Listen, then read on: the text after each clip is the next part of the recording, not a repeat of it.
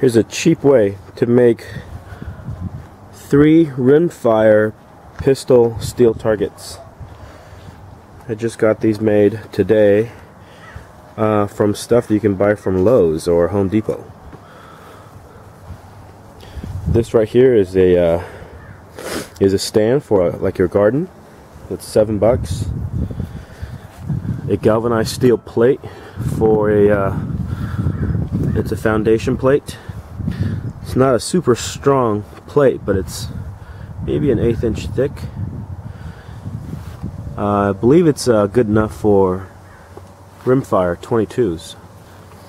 That was 10 bucks. This was 7 bucks. And then just took a wire coat hanger, hang it from this hook right here, and then took the other half, strap it to the bottom, put it through the holes in the bottom, and wrap around the back so it gives it an angle to deflect the, uh, the lead downwards once you hit it. So one of these cost me under $20 and I made three of them. So for under 60 bucks you could have three steel hanging targets for your rimfire pistol and probably rifle too. Um, I'm to try these tomorrow see how they work out but uh, I think it's going to work well. Looking forward to it.